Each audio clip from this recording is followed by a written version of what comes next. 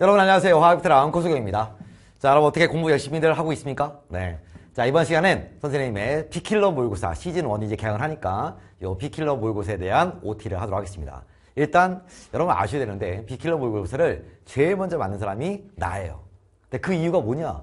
어, 내가 몇 년 전에 피드백을 했었거든. 여러분이 원하는 컨텐츠가 있으면 말을 해라 했을 때 정말 많은 친구들이 어, 킬러 두 개, 흔히 말하는 19번, 20번 어려운 걸 알겠는데 그걸 제외한 연습을 좀 많이 할 수 있게끔 모의고사 만들어달라 그랬고 그래서 선생님이 만들었고 그 이후에 여러분이 어, 많이 도움 받았다고 이런 얘기를 했어요. 그렇죠? 어, 그래서 자, 이 비킬러에 대한 이제 학습에 대한 건 중요하니까 이제는 다 알잖아요. 네.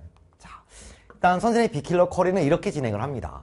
어, 스피드 비킬러 유형 특강이 있었어요. 요게 이제 종강을 했는데 어, 말 그대로 이제 개념 겨울에 개념을 많이 했는데 막상 모의고사 보니까 오 나는 개념을 했는데 왜 이렇게 문제를 자꾸 틀리지? 또는 안 풀리지? 아니면 너무 느리게 푸는 거 아니야? 뭐 이런 그지? 그래서 만든 게 바로 스피드 비킬러고요. 자, 요거를 들으시면 짧은 강의니까 스피드 붙였잖아. 그지요? 그렇다고 개념을 다시 들어 그럴 필요 없거든. 그래서 이거를 듣기 전과 후가 많이 다를 거예요. 이거 이제 종강 시켜 놨으니까 주제가 10가지 주제 가지고 선생님이 설명을 했어요. 아시겠죠? 음. 저 스피드를 먼저 듣고, 어, 그 다음에 모의고사를 보자. 그러면 자기의 이제 비킬러에 대한 상태를 알 수 있잖아. 어, 이제 좀 됐다, 아니면 아직 어디 약하다. 분명히 약점이 나오거든. 그럼 이제 그 이후에 커리가 또 비킬러 엔제가 있어요. 오케이? 주제별로 해서 문제를 푸는 겁니다. 이렇게 흘러가는 건데, 지금 이제 비킬러 모의고사 시즌 1이 이제 개강을 하는 거예요. 아시겠죠? 음. 자, 비킬러 모의고사는 시즌 1, 2, 3으로 진행을 할 거고, 올해는 아, 시즌 1 6회분, 시즌 2 8회, 그 다음에 시즌 3가 10회가 되겠습니다. 총 24회. 음. 아, 지금 이제 시즌 1 개강하는 거니까 이건 언제 하냐? 이건 6월 평가원 이후에 할 거예요. 이거는 9월 평가원 이후에 바로 개강을 하도록 하겠습니다. 아시겠죠? 어. 자, 이거는 늘상 꾸준하게 풀어줘야 되는 거거든. 음. 자, 그러면 자, 선생님의 비킬러는 어떤 형태냐? 몇 문항인가요? 보면 당연히 회당 18문항입니다. 두 문항을 뺀 거예요. 두 문항이 뭐야? 양적 계산 문제. 다음 또 하나는 중화 반응 문제가 되겠습니다. 그렇죠? 어. 어, 기체 양론이 있는데 기체 양론은 이제 선생님이 스피드 비킬러에는 안 넣었고요. 어, CNR 특강이라고 해서 옛날에는 선생님의 유명한 킬러 특강이 있잖아요. 거기 이제 주제를 기체 양론을 같이 설명을 할 거예요. 그래서 어, 스피드 비킬러에 빠졌지만 모의고사에는 그래도 포함해서 넣습니다. 계속 훈련해야 되니까. 아시겠죠? 어, 난이도는 어떠냐? 요게 가장 숙제인 거야, 사실은요. 음. 자, 이게 왜냐면 어떤 친구들한테는 어, 이 수입 너무 어려워요 라고 할 수도 있고요. 어떤 친구한테는 아, 수입 너무 쉬운 거 아니에요? 좀 더 어렵게 내주세요 라고 할 수도 있잖아요. 그죠? 어. 근데 선생님 생각에 선생님 그래도 객관적으로 봤을 때 알겠죠? 쉽진 않아. 왜냐면 이 모의고사 보는 이유가 자신감 상승이 아니잖아요. 그죠? 어, 여기서 막 기본적인 문제만 풀다가 어, 막 이거 15분 안에 다 풀어. 막상 모의고사 봤더니 너무 어려워. 체감 난이도가 올라간단 말이야. 그죠? 음, 그래서 어, 난이도는 최상급은 아닌데 그래도 어, 상 정도 된다. 라는 게 내 생각인데 그래서 어, 궁금하잖아요.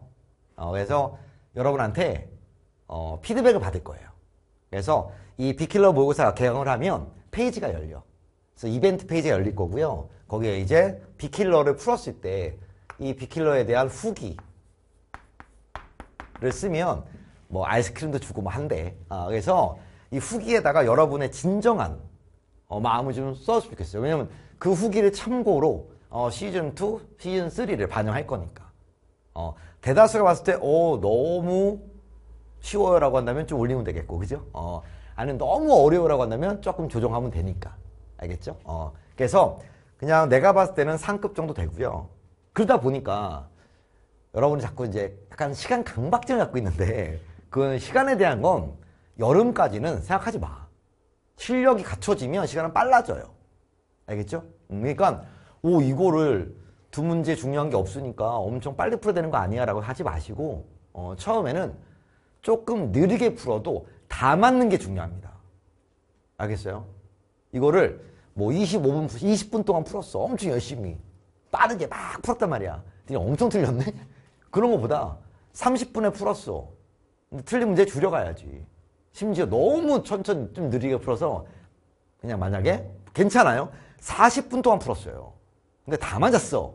그러면 공부는 잘 하고 있는 거예요. 시간은 빨라지니까. 그러니까 시간 제고 풀거나 그러지 말자. 알겠죠? 근데 만약에 첫 번째 풀어봤을 때 시간이 많이 걸려오면 그다음부터 시간 재지 마. 그냥 공부하는 거니까. 근데 처음 풀었는데 한 30분 정도 걸렸어. 그러면 아 그럼 다음에 30분 안으로는 다 끊자. 30분 넘기지 말자라는 생각으로 푸시면 좋겠고요. 아시겠죠? 음. 자, 그 다음.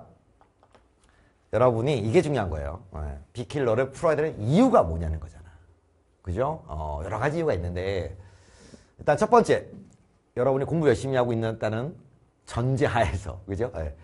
자, 자신의 학습 상태가 있어요. 학습 완성도. 이거는 아무도 몰라요. 심지어 여러분 스스로도 몰라요. 또는 어디가 약한지도 아직은 잘 모를 수 있어요. 왜? 문제를 많이 안 풀면. 개념 보잖아? 네, 개념 보면 다 아는 것 같아요. 뭐가 뭔지는 다 아니까. 그죠? 근데 이걸 문풀로 연결하려면 어느 정도의 완성도가 나와줘야 돼요. 그래서 이걸 체크하는 게 가장 중요하고요. 근데 이제 문항을 구분해 본다면 기본 문항이라는 게 있고 핵심 문항이라는 게 있어. 기본 문항은 어, 일반적으로 틀리면 안 되는 문제를 말합니다. 알겠어요? 어, 떤게 틀리면 안 되는 문제 같아요, 여러분? 당연히 1번 문제 이런 거 틀리면 안 되잖아. 그죠? 화학과 화학의 유용성 뭐 이런 거, 탄화수소 이런 것들은 맞추면 되겠고요. 다음에 또 하나 중요한 건 2단원과 3단원은 틀리면 안 돼. 어? 알겠어? 어, 2단원에서 동의 원소는 조금 해줘야 돼요. 근데 그걸 제외한 뭐 양자수라던가 전자배치라던가 아니면 반지름 비교 이런 것들은 해줘야 돼. 그치? 다음에 3단원 문제는 절대 틀리면 안 됩니다. 오케이? 그래서 그 파트에 대한 또는 발열 반응, 흡입 반응 이런 게 있으니까 가벼운 것들 또는 동적 평형 틀리면 안 되지. 그래서 자 이런 거에 대해서 풀어가면서 기본 문항에 대한 완성을 이제 좀 취하는 거고 중요한 건 이제 핵심 문항입니다. 결국은 승부는 핵심 문항 이게 자신 있어야 돼요. 어. 그다음에 이것도 중요한데 여러분 실수 안 할 것 같죠? 나중 되면 가장 많은 질문 중에 그게 있어요. 선생님 어떻게 하면 실수를 안 할 수 있을까요? 아마 10월 그 달에 절박하니까. 예, 여러분 실수는 실수와 실수의 유형은 되게 많아요. 근데 학생들마다 갖고 있는 유형이 있어요. 그 또한 연습을 하면서 보는 거야. 아, 내가 아, 문제를 잘 안 읽는구나. 그럴 수도 있겠고요. 아니 문제를 넘겨지 푸는구나. 이미 그냥 누군지 그냥 뚝 찔러봐서 푸는구나. 뭔지 이해 안 되면 문제를 더, 더 풀면 이렇게 생겨요. 어, 그런 건 약간 위험할 수가 있어요. 또 하나는 음, 내가 가장 중요한 건데 쓰지 않는구나. 많은 선생님들이 얘기할 거야. 눈으로 풀지 마. 눈으로 풀지 마. 그죠? 여러분 실수는 어디서 많이 나올 것 같아요?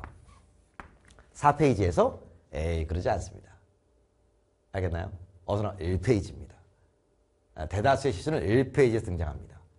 1번, 2번, 3번, 4번 중에서 실수가 발생하는 경우가 꽤나 많다. 그리고 말도 안 되는 실수도 있습니다. 어떤 실수 같아요, 여러분? 그래서 이주기라고 분명히 써 있는데 아 갑자기 H2O가 나오는 거야. 야 수소가 이주기가 아니잖아. 그죠? 그런 실수를 한다니까. 아, 그다음에 뭐 수소나 분명히 수소인데 은근히 수가 수소 많거든. 근데 금속인 줄 알았어요. 일쪽이니까 뭐 이런 말도 안 되는. 알겠니? 어, 그래서 틀려가면서 아 그냥 에이 실수야 에이 그러지 말고 아 내가 이런 실수를 하는구나. 그걸 한번 체크해 주셔야 됩니다. 알겠죠? 그러면 자 이 공부 좀 한 상태에서의 비킬러에서 여러분이 얻어갈 수 있는 건 바로 뭐냐면 사실 이 핵심 문항인데 이 핵심 문항도 친구들과 좀 달라. 근데 일반적으로는 아, 요 주제가 되겠습니다. 음.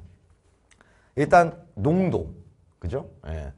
이 문제들이 이제 정답률을 보시면 보통 어느 정도 나오냐면 아, 50대, 50%에서 한 65%쯤 나와요.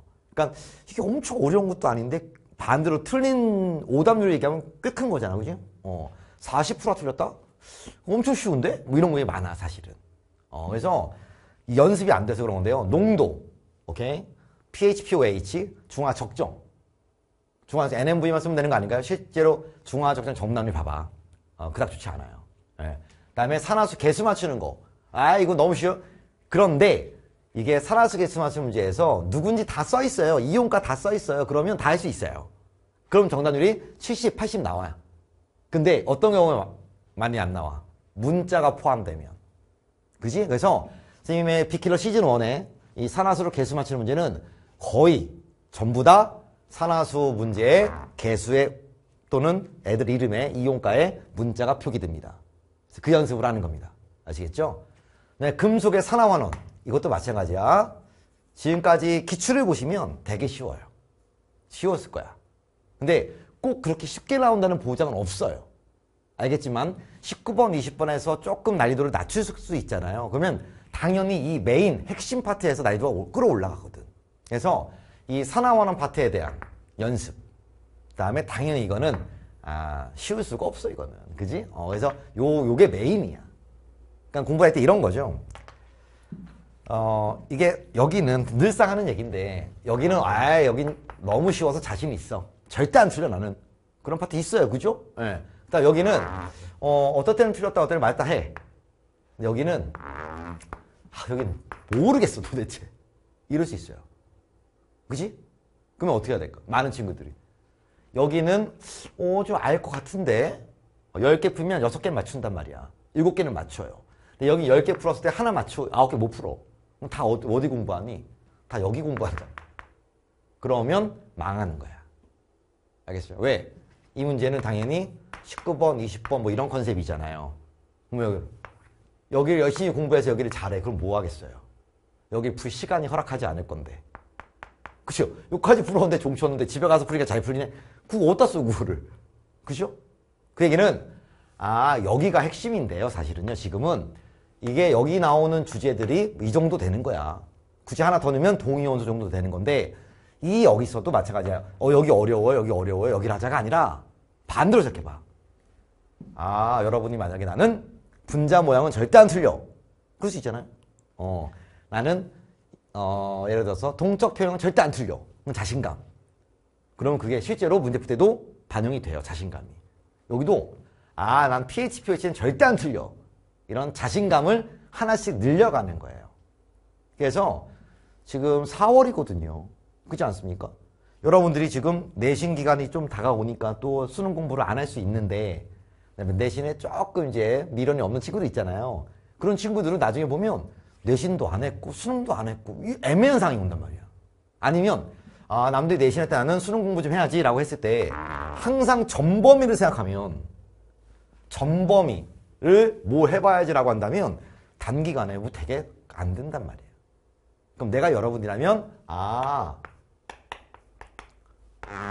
5월이 있고 6월이 있는데 그치? 내신을 봤어. 봤더니 이만큼 이제 좀 남았어. 한 두 주 남았네. 두 주 동안 전범위가 되겠습니까? 그건 아니잖아요. 그죠? 어. 그러면 아, 두 주 동안 나는 만약에 어, 조금 약하면 두 주 동안 나는 pH랑 pOH만 집중적으로 한다. 오케이? 이런 거야. 조금 여유 있으면 주제 두 개 딱 뽑아가지고 오케이? 농도. 나는 pH, pH. 너로 정했어. 딱 이런 거야. 그러면 목표가 뭐겠습니까? 6월 평가원에서 이 두 개 안 틀리는 게 핵심인 거예요. 알겠어요? 그럼 이게 이때 공막이 어디 가겠습니까? 7월에 또 나오잖아요. 그럼 6월 평가원 다 끝났어? 그 다음, 그 다음 뭐야? 아, 이제 산화수 개수, 산화환원. 이런 거 집중적으로 하겠다. 이런 컨셉이거든. 근데 그러려면 본인의 상태를 알아야 되잖아요. 그치? 아, 그래서, 어, 너무 시간에 얽매이지 마시고 열심히 풀어. 시험지에 많은 걸 써가면서 실수하지 않게끔 쓰시고 아, 여러분의 풀이가 과연 정당했는가 과연 오, 바른 풀이었는가 이걸 선생님이랑 또 보면서 확인했으면 좋겠습니다. 알겠죠? 자, 피킬러 1회 푸시고 1회 해설해서 볼게요.